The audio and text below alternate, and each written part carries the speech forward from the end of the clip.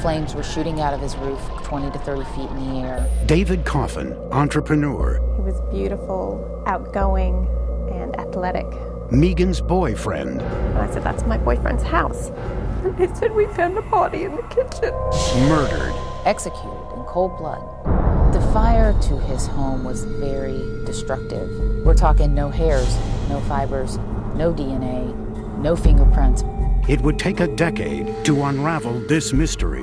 People who have gotten away with murder for a period of 10 years expect to continue to get away with it. Before it was over, the suspected killer would run for governor. He is convinced himself that he's done nothing wrong. When he ran for governor of California, that's when I realized he hasn't given this a second thought. Him and Arnold Schwarzenegger? Correct. They were on the same ballot. The ghost of David Coffin. It's the hardest case I have ever fought in my entire career.